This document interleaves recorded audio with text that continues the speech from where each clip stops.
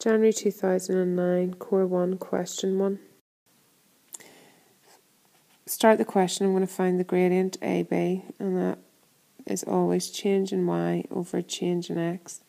So it's 7 take away minus 1 all over 1 take away minus 3.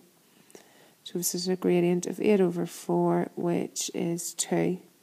Gradient of the perpendicular is the negative reciprocal, so that's negative 1 half.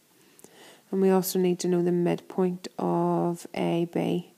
So the midpoint will be the sum of the x's divided by 2, sum of the y's divided by 2.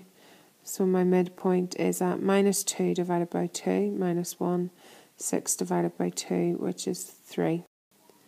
So I want the equation of the line going through minus 1, 3 with the gradient minus a half using y minus y1 equals m upon x minus x1, y minus 3 equals minus 1 half x plus 1. 2y minus 6 equals minus x minus 1, 2y plus x minus 5 equals 0. There's lots of ways to leave your final formula.